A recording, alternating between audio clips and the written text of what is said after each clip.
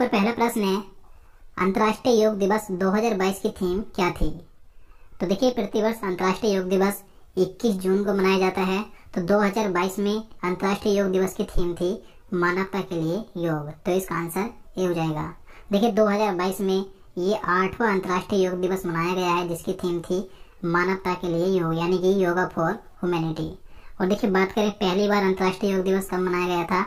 तो 21 जून 2015 को मनाया गया था। क्वेश्चन नंबर दो है, किस राज्य ने खेलो इंडिया यूथ गेम्स 2022 का खिताब जीता है? तो खेलो इंडिया यूथ गेम्स 2022 का खिताब जीता है हरियाणा राज्य ने। तो इसका आंसर बी हो जाएगा। हरियाणा राज्य ने इन खेलों में सबसे ज़्यादा पदक जीते हैं, यानी कि हरियाणा इसमें प्रथम स्थान पर रहा। हरियाणा ने इन खेलों में कुल एक सौ सैंतीस पदक जीते, जिनमें की बावन गोल्ड मेडल, उनतालीस रजत पदक और छियालीस कांस्य पदक शामिल है। इसके बाद दूसरे स्थान पर रहा महाराष्ट्र। महाराष्ट्र ने इसमें 125 पदक जीते, जिसमें 45 गोल्ड 40 रजत और 40 कांस्य पदक शामिल हैं। तीसरे स्थान पर रहा कर्नाटक। कर्नाटक ने कुल सड़सठ पदक जीते, जिसमें 22 गोल्ड मेडल 17 रजत पदक और 28 कांस्य पदक शामिल हैं।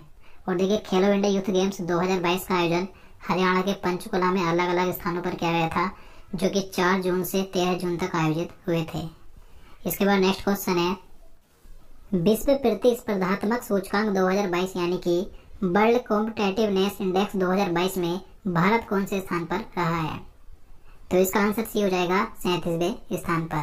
तो देखिए, वर्ल्ड कॉम्पिटेटिवनेस इंडेक्स 2022 में भारत को सैतीसवा स्थान मिला है। देखिए, भारत पिछले वर्ष यानी कि 2021 में इसमें तैतालीसवें स्थान पर था और अब 2022 में सैतीसवें स्थान पर आ गया है। देखिए, इस सूचकांक में कुल तिरसठ देशों को शामिल किया गया था, जिसमें से भारत को सैंतीसवें स्थान प्राप्त हुआ है और इसमें प्रथम स्थान पर है डेनमार्क। क्वेश्चन नंबर चार है, महाराष्ट्र के नए बीसवे मुख्यमंत्री कौन बने हैं? तो देखिए, आप सभी जानते हैं अभी हाल ही में महाराष्ट्र राज्य के बनाया गया है। देखिए, इन्होंने 30 जून 2022 को नए मुख्यमंत्री के रूप में शपथ ली है। और महाराष्ट्र के राज्यपाल कौन है? तो भगत सिंह कोश्यारी हैं। इसके बाद अगला क्वेश्चन है फेमिना मिस इंडिया 2022 का खिताब किसने जीता? तो देखिए अभी हाल ही में फेमिना मिस इंडिया 2022 का खिताब जीत लिया है। इसमें ये इसका अट्ठावनवा संस्करण था फेमिना मिस इंडिया का, जिसका ग्रैंड फिनाले 3 जुलाई 2022 को मुंबई के जियो वर्ल्ड कन्वेंशन सेंटर में आयोजित किया गया था। और देखिए इनसे पहले फेमिना मिस इंडिया 2022 कौन बनी थी? तो मानसा वाराणसी बनी थी, जो कि तेलंगाना राज्य की थी। तो याद रखना है कि 2022 में मिस इंडिया कौन बनी है? तो कर्नाटक की सिनी शेट्टी बनी है। इसके बाद अगला क्वेश्चन है। अड़तालीस जी सेवन शिखर सम्मेलन 2022 कहाँ आयोजित हुआ? तो इसका आंसर बी हो जाएगा जर्मनी में। तो देखिए 2022 में अड़तालीस जी सेवन शिखर सम्मेलन 26 जून से 28 जून तक जर्मनी के बवेरियन आल्पस के लोस एल्मो में आयोजित किया गया था।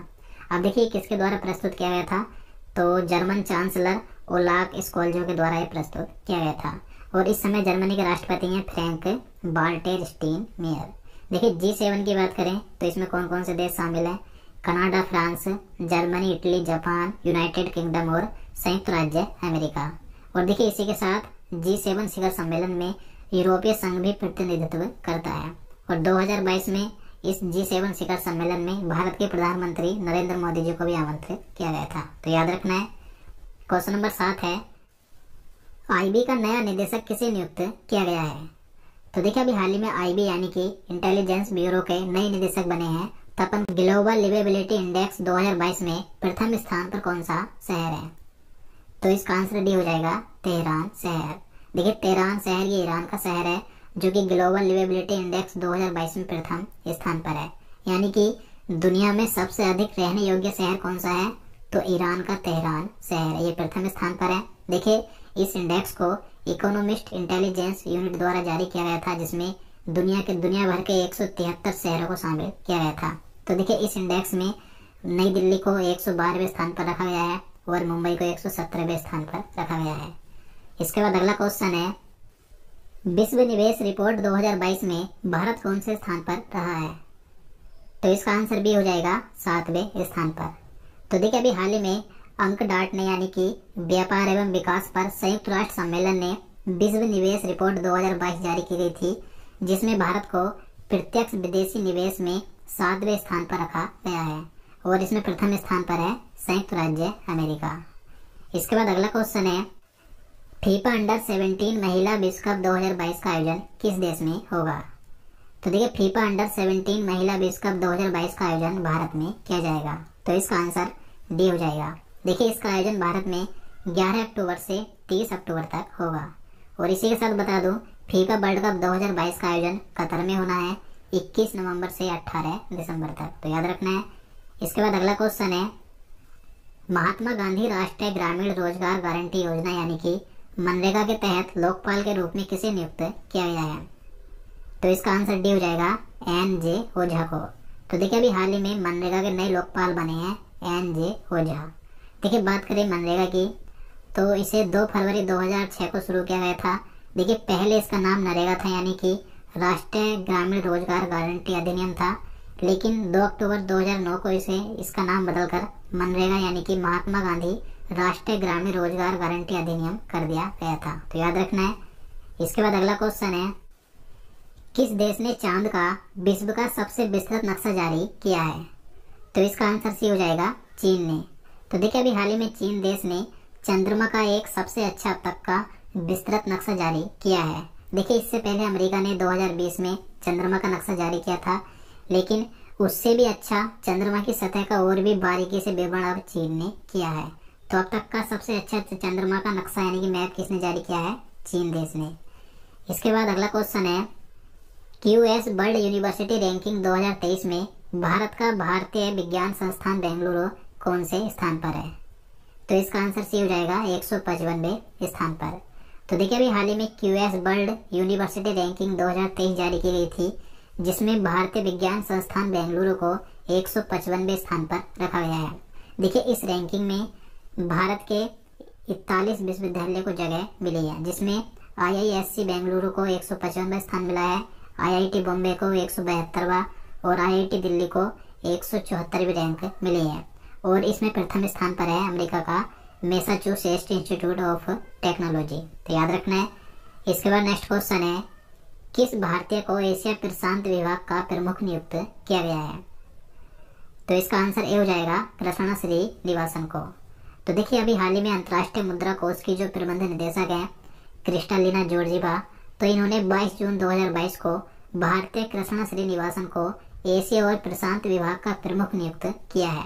देखिए इन्होंने चांग योंग री का स्थान लिया है।